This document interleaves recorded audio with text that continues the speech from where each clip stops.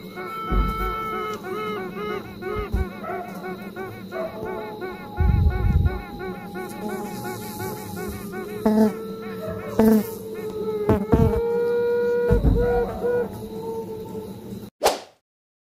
عليكم ورحمة الله وبركاته. إخواننا حالين في جميع أنحاء العالم وفي الوطن العربي وفي اليمن خاصة. أرحب بكم أجمل ترحيب في قناتكم قناة الجابر والنحل القناة التعليمية. لا تذهبوا بعيدا لدينا محاضرة قوية ومميزة ورائعة جدا.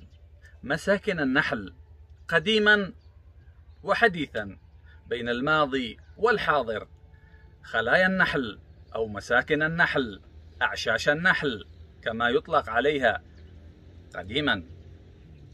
سنتطرق في هذه المحاضرة. الرائعة والمميزة جدا حول مساكن النحل وأنواعها. العلماء الذين قاموا بهذه الثورة النحلية التي نراها حاليا.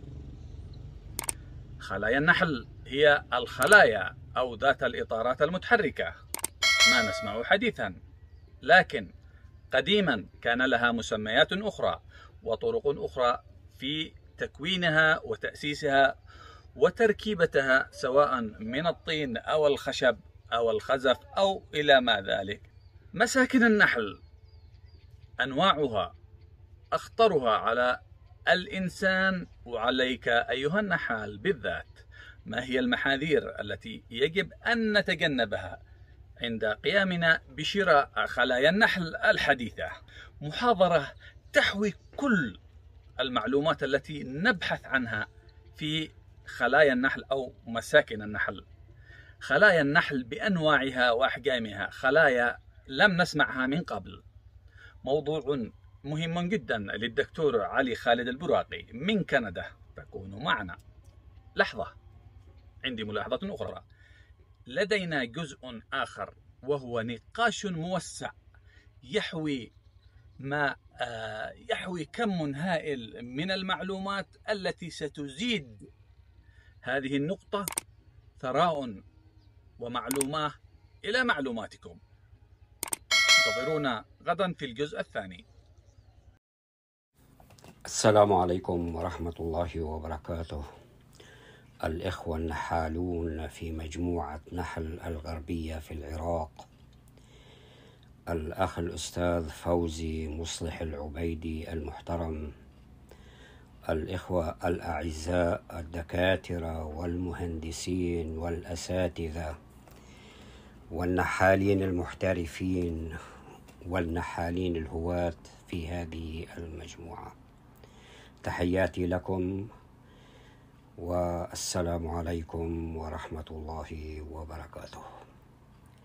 سأتحدث اليوم في موضوع نحالي مهم وهو بعنوان أنماط مساكن النحل قديما وحديثا وأفضلها للاستخدام الآمن للنحل والنحال ومستهلك العسل. نبدأ بسم الله الرحمن الرحيم والصلاة والسلام على سيد المرسلين حبيبنا محمد صلى الله عليه وآله وصحبه وسلم والصلاة والسلام على رسول الله أجمعين. بسم الله نبدأ. السلام عليكم ورحمة الله وبركاته. خير ما نبدأ به كلامنا. آيات من القرآن الحكيم من سورة النحل.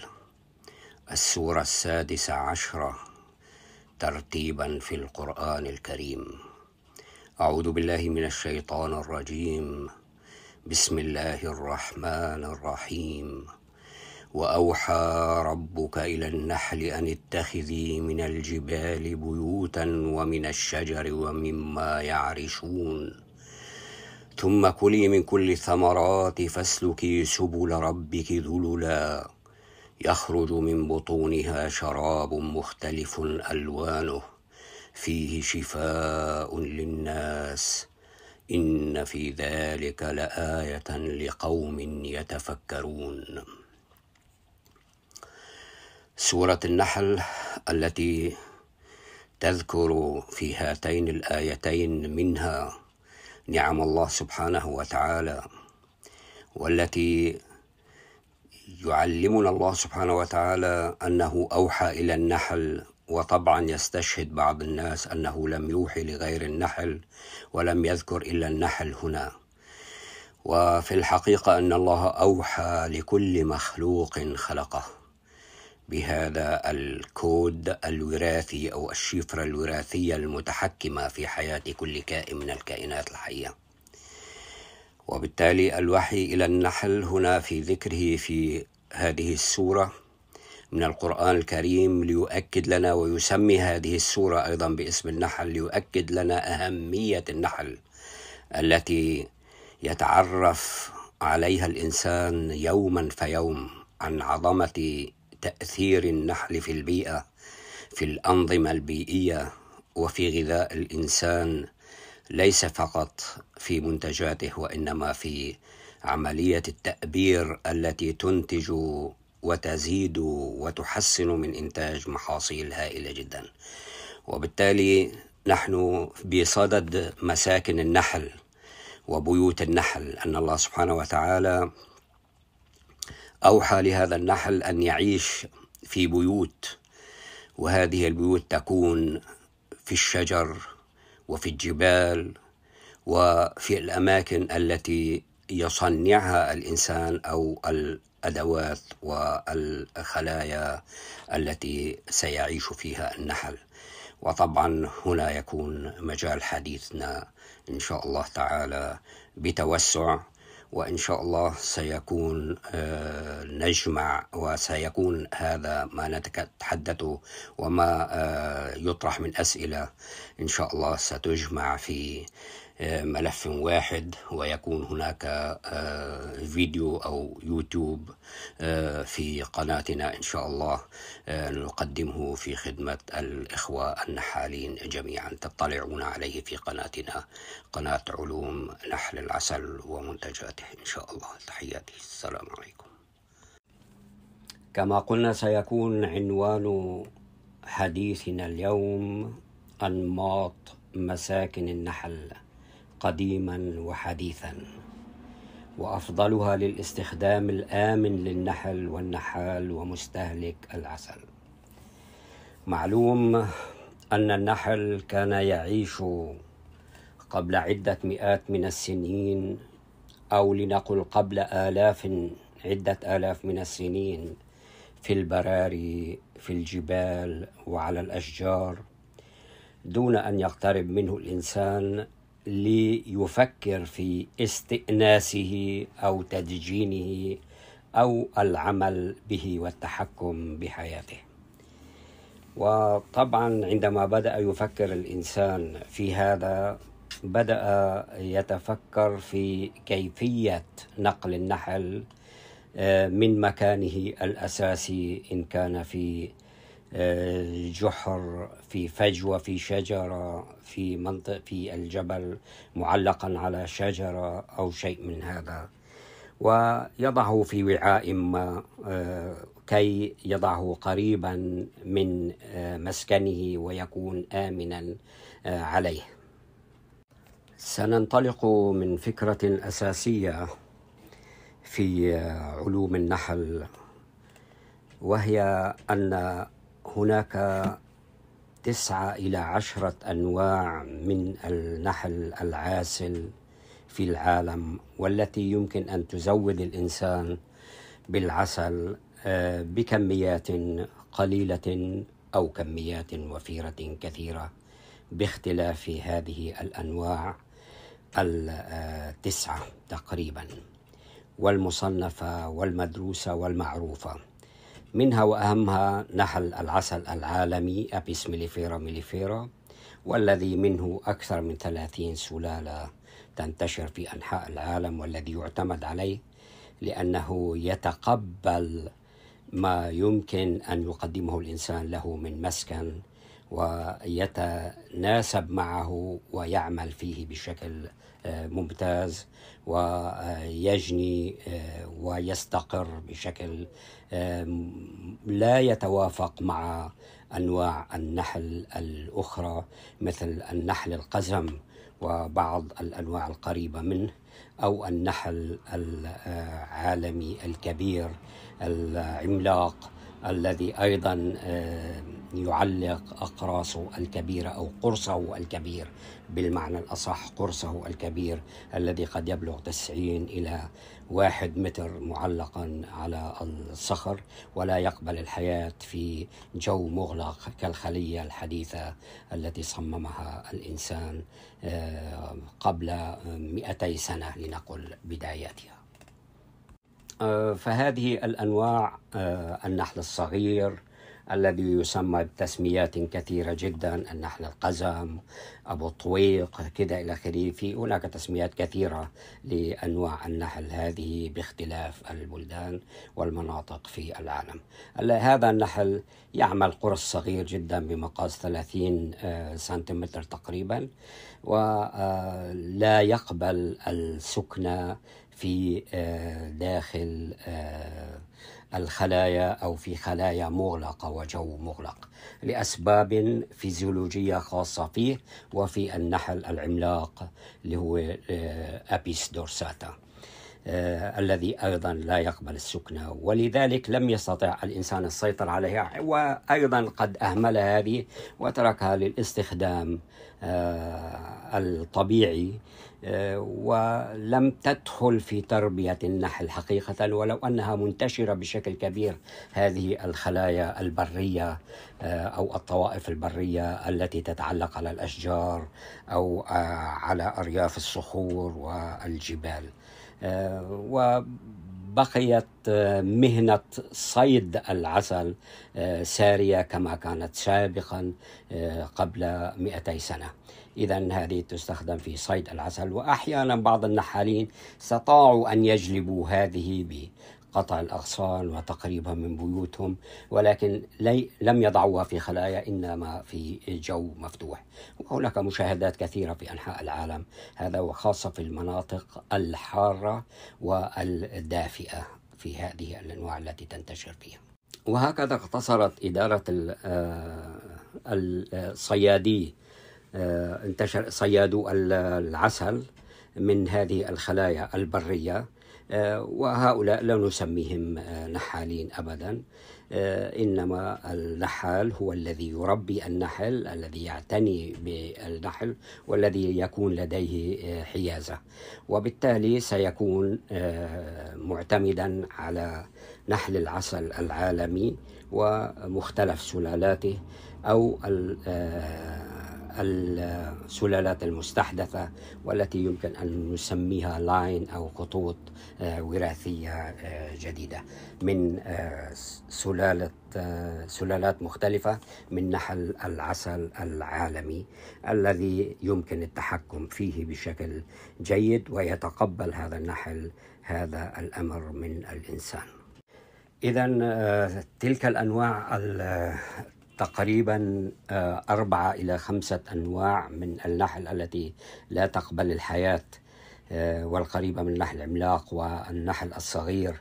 القزم آه، التي لا تقبل السكنة في أجواء مغلقة أو أماكن مغلقة كالخلايا. فإذا هذه بقيت في حياتها البرية وبقيت تعيش في الطبيعة في الفجوات في الصخور في الأشجار في الغابات وفي الأماكن التي تحميها لأنها دائما هذه الأنواع وكما كان نحل العسل سابقا قبل أن آه، يأتي به الإنسان ويقوم بتربيته ومحاولة آه، توجيه حياته للمنفعة الاقتصادية للإنسان.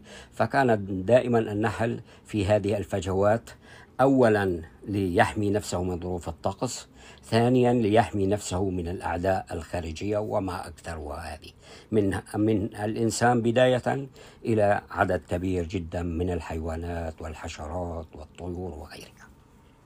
فكان مسكنه الطبيعي هو هذه الفجوات التي يختارها بشكل أو بآخر بسعات متنوعة تبعا لهذه الأنواع التي آه، آه، أو السلالات التي آه، تستوطن هذه الأماكن. أما تلك التي تعيش في الوسط الخارجي فهذه تتطلب حماية بسيطة يعني لكن هي لا تدخل في في أجواف الفجوات والفتحات آه، في نسميها التجاويف بشكل عام. إن كان في الأشجار أو في الجبال أو في المغر آه، المغاور وغيرها.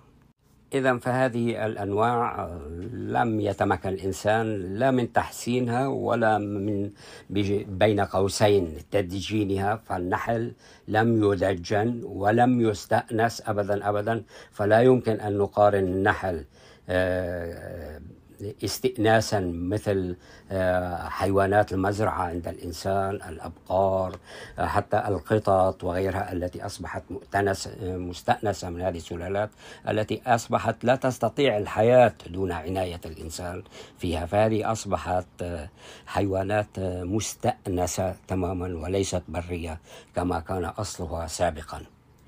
وهذا معروف آه، لنأخذ فرضا بعض سلالات القطط المستحدثة آه، لا يعني تمر من جنبها الفئران ولا تهتم آه، فيها ولو أن هذا في فطرتها يعني.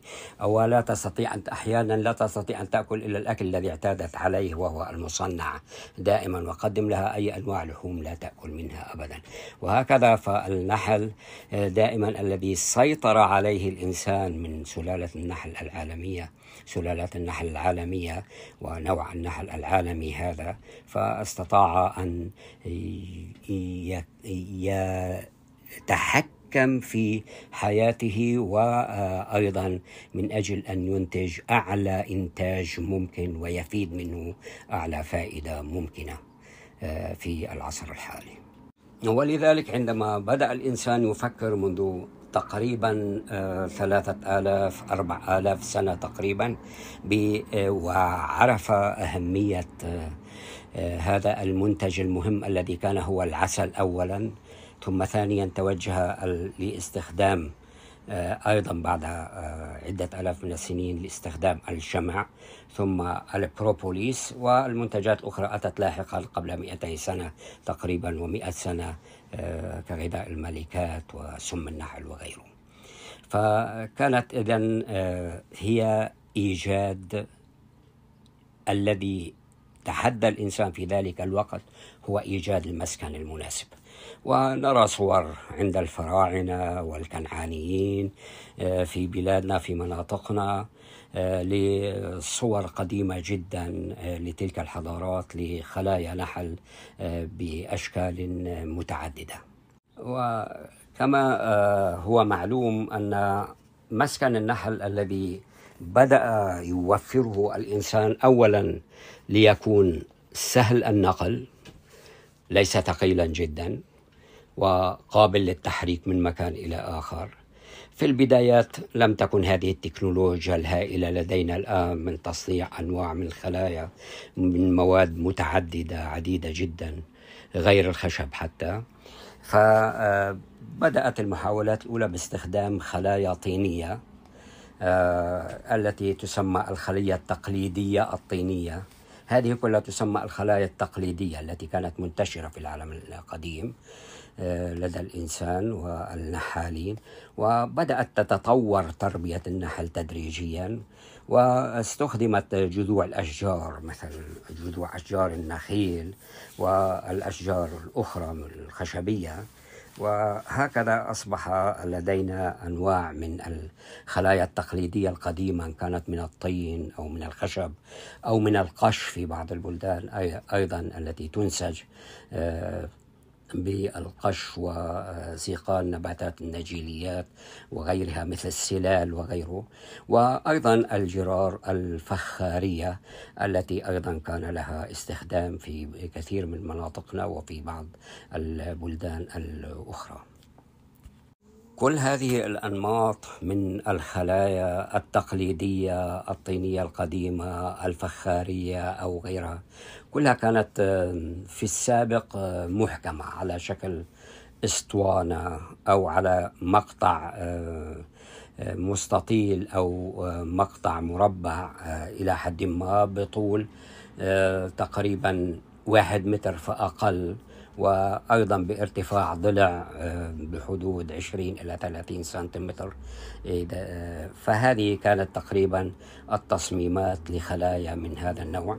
والفخار في السابق كان كما يستخدم الجرار الفخارية والخوابي الفخارية. آه، أيضا آه، أصبح تقدم هناك وأصبحت تستخدم على شكل صندوق مستطيل الشكل. وتدريجيا أحدثوا له غطاء. وتدريجيا تم الانتقال إلى الخشب آه، بعدما أن صممت في بعض البلدان الأوروبية آه، آه، أنواعا وأنماطا وأشكالا من خلايا عديدة لها تسميات كثيرة إن كانت في فرنسا في سويسرا في ألمانيا في بريطانيا في هذه الدول وفي أمريكا.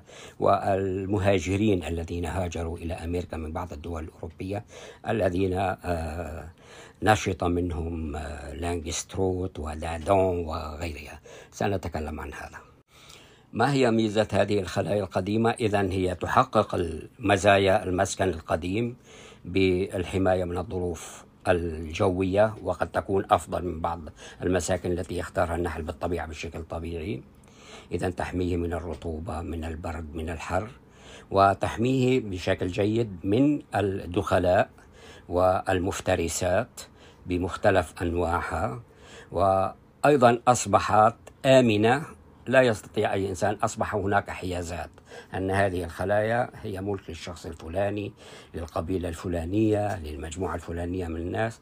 هي ليست مجال لأن يأتي صياد عسل ويأخذ منها كما يأخذ من الخلايا في البراري. فهذه المزايا تحققت في هذه الخلايا وتحققت ميزة جديدة التي هي إمكانية نقل هذه الخلايا. ومعلوم أنه آه، حسب الدراسات الكثيرة في التاريخ أن آه، آه، في وادي النيل كانت الخلايا تنقل على القوارب وتتتبع الأزهار. من أعالي النيل إلى آه، أدنى النيل عندما يصب في البحر الأبيض المتوسط. وبالتالي آه، بدأ الإنسان آه، يتحكم في هذه التربية وتتطور تدريجيا. فتحققت أيضا الفائدة الاقتصادية ولكن كنا بحاجة لثورة نحالية في تصميم الخلية والتي أتت تقريبا بعام 1800 بدأت بدايات التفكيرات 1800 830 300 1840 تقريبا حتى آه، طبعا كان هناك تصميمات لخلايا آه، خشبية بأشكال أنماط متعددة حتى آه، ظهرت خلية لانجستروت في عام 1852 54 وبدأ يطورها بشكل جيد لانجستروت. في الوقت نفسه كانت خلية دادون وخلية فوارنو أيضا في مناطق بين سويسرا وألمانيا وهذه البقاع. نحن هنا لا ندون من أجل التاريخ ومن أجل آه، بالضبط. آه، إنما من أجل أن نأخذ الفكرة عن هذه المساكن وكيف نشأت ولماذا الإنسان آه، يعني كان يفكر في استخدام خلايا من هذا النوع ما هي الأسباب وما كانت النتائج منها. طبعا في الثورة النحالية التي حدثت مع الثورة الصناعية والتقدم التقني في النجارة وتصميم الأشكال وغيرها من الخشب واستخدام المواد مختلف المواد التي كان يفتقر لها الإنسان القديم مثل المسامير والغلاء الغراء والمواد اللاصقة. هذه كلها أعطت طبعا تقدما هائلا في تصنيع والتفكير في تصنيع مسكن النحل الأنسب وخاصة بعد أن أصبحت النحالة كانت مستقرة المناحل قائمة في أماكنها نادرا ما ترحل أصبحت النحالة المرتحلة في العصر الحديث هي الأكثر اقتصادية والعائدية للنحال. وترافق هذا أيضا مع الثورة الزراعية الهائلة واحتياج قطاع القطاع الزراعي للتأبير وبالتالي انتقال الخلايا. إذا لابد من خلايا بأحجام معينة مناسبة قوية تتحمل الترحيل والأخذ والعطاء. ليس كالخلايا الطينية التي لا يمكن آه، استخدامها هكذا والتي لا يمكن الفتح عليها والكشف عليها. فميزة الخلية الحديثة إذا أصبحت أو التي تسمى الخلية ذات الإطارات المتحركة. هذا هو اسم الخلية أيا كان نمطها. دادون بوارنو آه، لانجستروت ولا آه، غيرهم المصنعة عدة أنماط أيضا في بريطانيا ومحيطها. فإذا آه، تحقق هذا الهدف بأنه أصبح النحال يستطيع أن يكشف آه، الخلية ويرى قرصا قرصا ما هي الأمور آه، في الخلية. إن كان هناك أمراض هناك تخزين هناك فقد للملكة هناك أي شيء يمكن أن يراه بينما كانت الخلايا القديمة هي كرة مصمتة. يعني يستطيع أن يرى من أمام الخلية ومن آخر الخلية ويجب حتى يعرف كم هي كمية العسل المخزنة أن يقطف أو يقطع الأقراص فرضا من الخلف قرصا قرصا حتى يصل إلى الحضنة. هكذا يستطيع أن يعرف. أما لا يستطيع أن يعرف هل فقدت الملكة غير موجودة هل هناك مشكلة في الأقراص هل الأقراص قديمة كل هذه الأمور. إذا هنا الخلية الحديثة حققت آه، إمكانية تحكم وسيطرة للنحال في نحله ومنحله.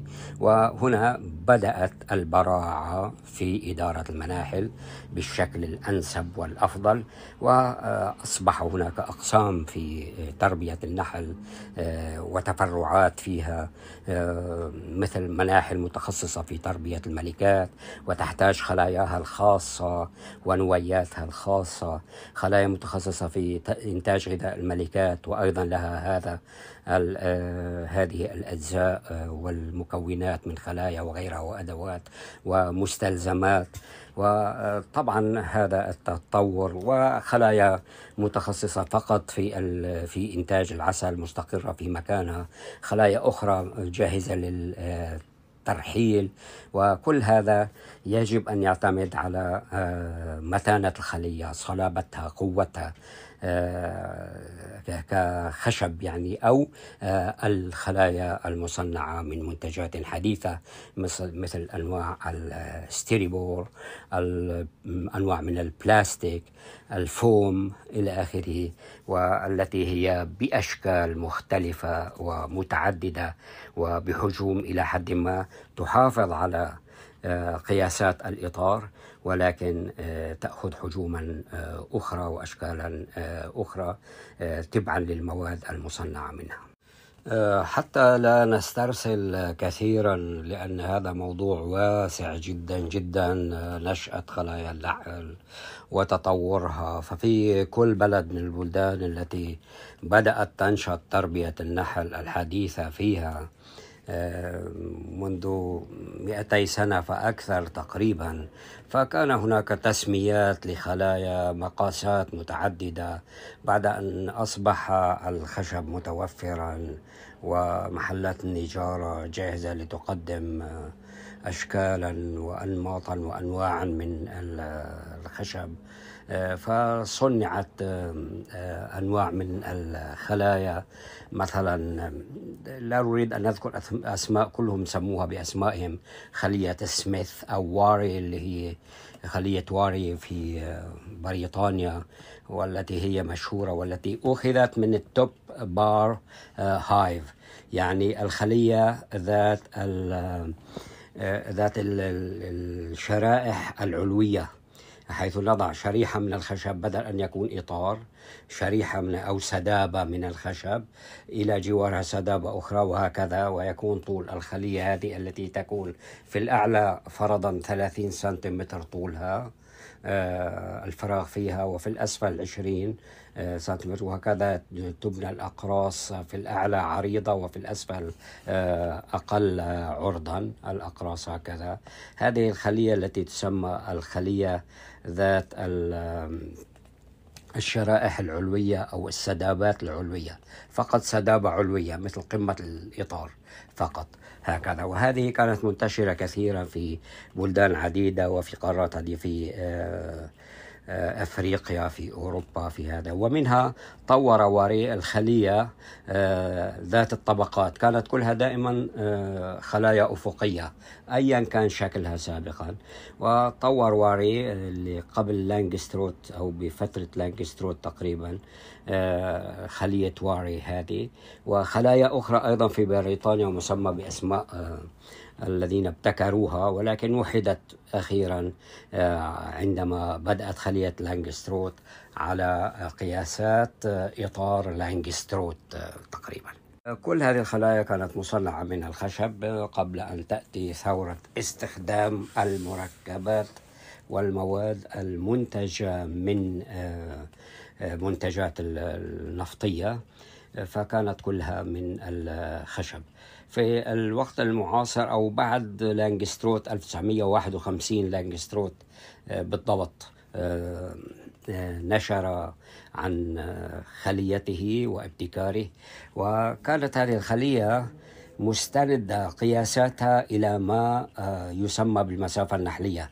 إذا اكتشفت المسافة النحلية للسلالة الستاندر الأوروبية التي كانت ثمانية بالعشرة مليمتر وهي المسافة التي تعرف المسافة النحلية أو bee space بتسمى آه، المسافة التي تسمح لنحلتين بالمرور آه، في مكان ضيق دون احتكاك.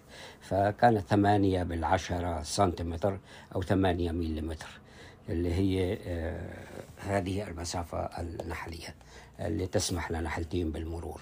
وهكذا آه أصبح آه, آه، تشكيل الإطارات المتحركة في خلية النحل لانجستروت خلية آه، حتى واري بعد منها صار تعديلات عليها وخلايا أخرى. كما قلنا بأسماء مختلفة إن كان في آسيا آه، في بعض البلدان آه، في الصين في الهند وغيرها من البلدان الأخرى الكثيرة جدا في شرق آسيا وأيضا في أوروبا وفي أمريكا. فكانت هذه إذا اكتشاف المسافة النحلية هو الذي آه، مكن من تصنيع الخلية الحديثة والإطارات المتحركة فيها وهذه كانت الثورة الكبرى في تربية النحل وإنتاج الخلايا بأعداد وافرة جدا. قبلها قبل آه، أن تصنع خلايا وينقل الإنسان النحل من الطبيعة ومن الكهوف والأجواف التي كانت لا تسمى لا تسمى خلية نحل قبل ذلك قبل أن يصنع الإنسان مسكن جديد للنحل كان اسمها أعشاش مثل أعشاش النمل والدبابير وهذه فكانوا يسمونها أعشاش. يعني علميا نسميها أعشاش النحل في الطبيعة أما عندما أصبحت هناك أداة يوضع فيها النحل فأصبحت تسمى خلية النحل. من هنا لم يكن أيضا لم يكن هناك اسم لمنحل مكان نحل واللي بسموه بالإنجليزي أبياري أو بيارد أو آه، منحل نحن نسميه مكان المنحل.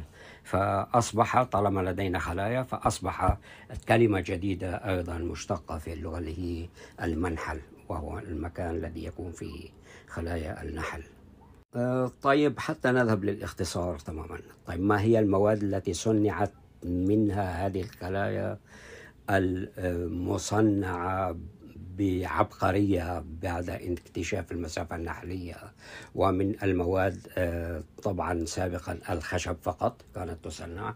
صنعت بعض منها في الزجاج أيضا من أجل مثل خلايا الرصد وغيرها. وطبعا ليست للنقل هذه خلايا هذه للتدريب والتعليم. وصنعت بعض المقاسات المتعددة.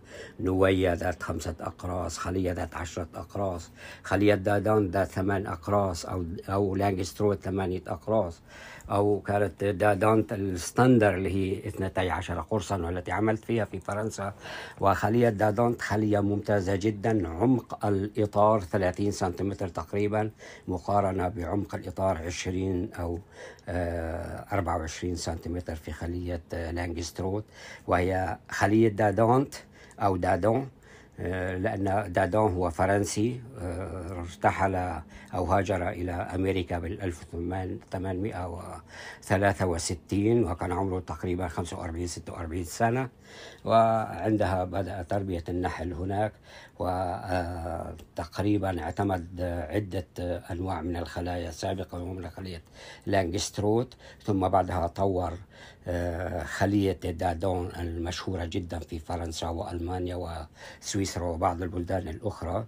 وحتى في بعض بلدان المغرب العربي كانت تستخدم هذه في تونس وبعض المناطق الأخرى لكن آه، المناطق الدافئة تفضل استخدام خلية لانجستروت. وأنا أفضل استخدام خلية لانجستروت في الخلايا في المناطق الدافئة ولكن خلايا دادونت في المناطق الباردة لأنك يمكن أن تشتي على طبقة واحدة أو طابق واحد أو بيت تربية واحد ويكون كثافة النحل أكثر وعدده أكثر بسبب عمق الإطار الأكثر تقريبا بنحو حجم الخلية يزيد بنحو الثلث عن خلية لانجستروت.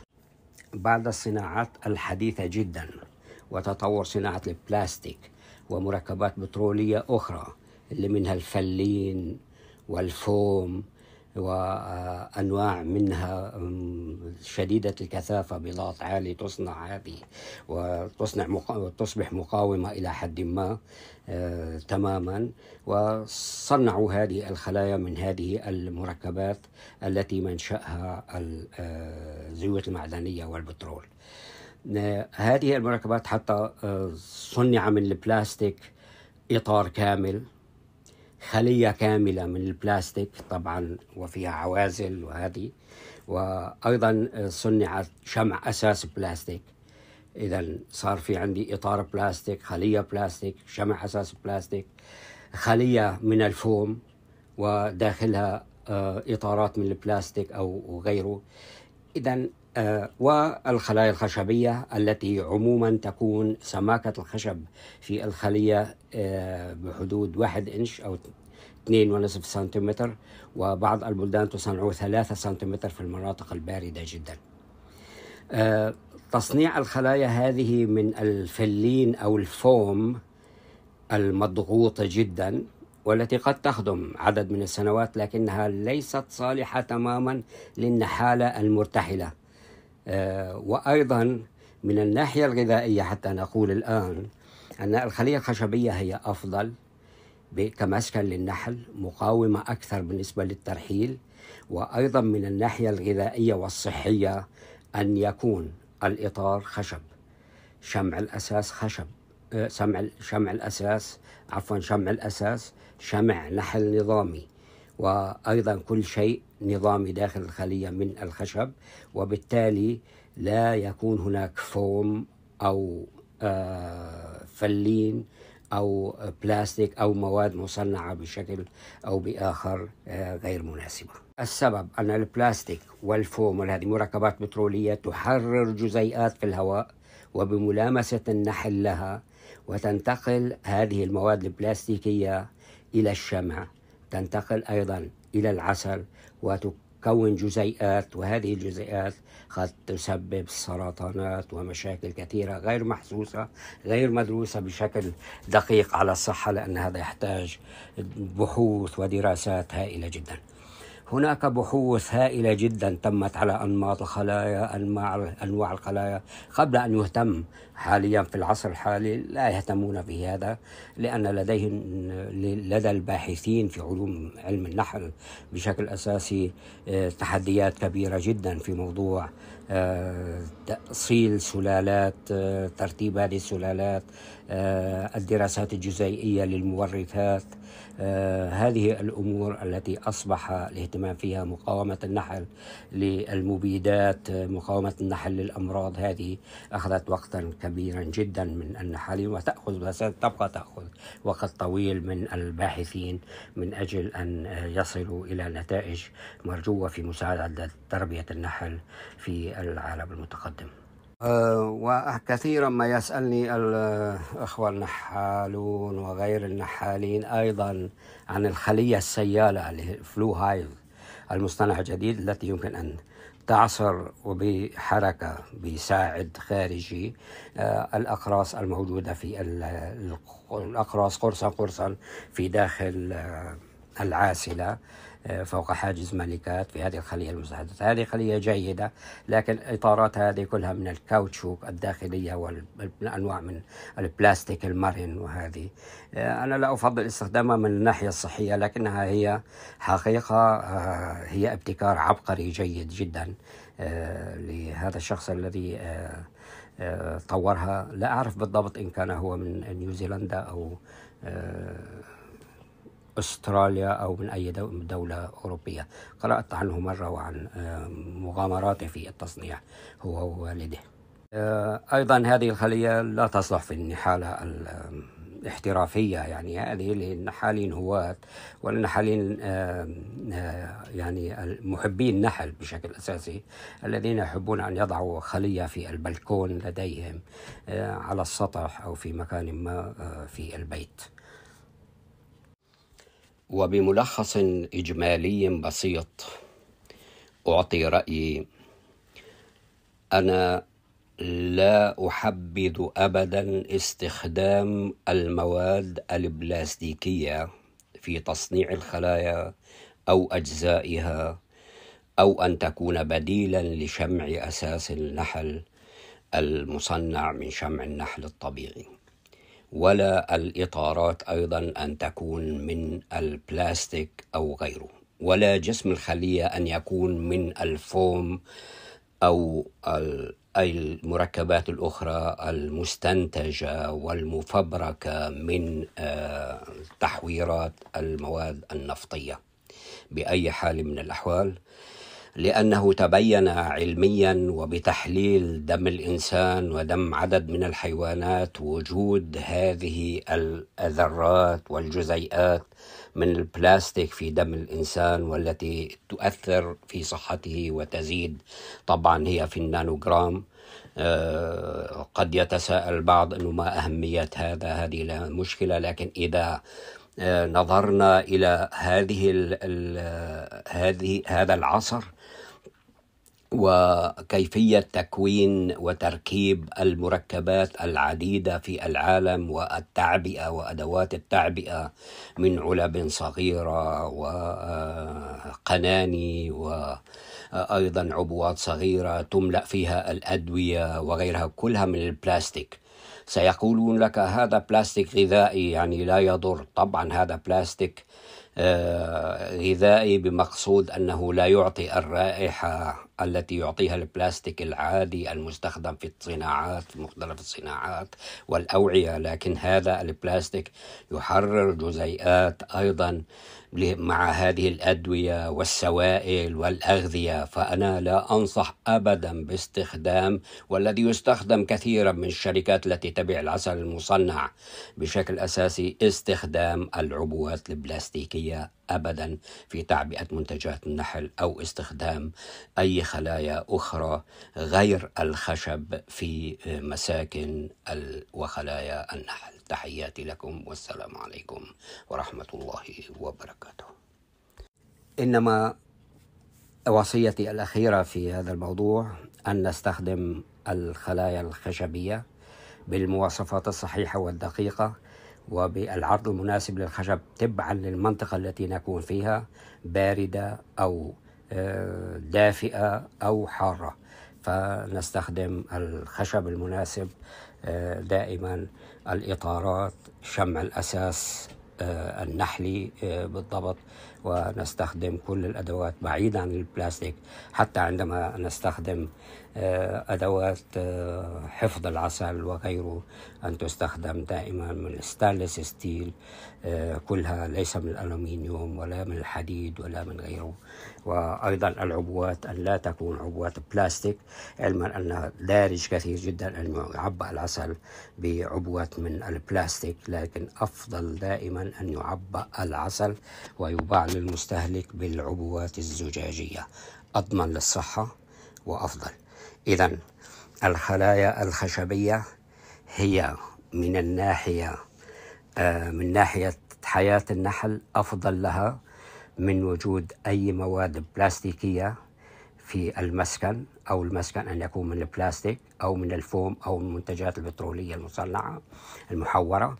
آه، أكثر أمان لصحة النحال أكثر آه، ديناميكية وعملية وسرعة تحرك الخلايا الخشبية وتداول حتى لو أنه في النحالة الحديثة التحميل على آه، طبليات على قواعد من الخشب وتتم عبر آه، روافع آه، هيدروليكية وغير من هذا لكن تبقى أي قلب لأي خلية من الفوم أو البلاستيك سيكسرها ويسبب مشكلة في المناحل وأيضا أخيرا مستهلك العسل يجب أن يأخذ مادة ممتازة نظيفة من أي تلوث إن كان تلوث مبيدات نستخدمها داخل الخلية والتي يجب أن تستبعد أبدا في مكافحة الطفيليات الفاروا وغيره أو في معالجة الأمراض. نستبعد هذه الصادات الحيوية أيضا والتي لا تفيد بصراحة في تربية نحل وإنما دائما الاهتمام والاستخدام الأمثل للمواد الطبيعية في المكافحة في المعالجة في مداراة النحل والوقاية باستمرار.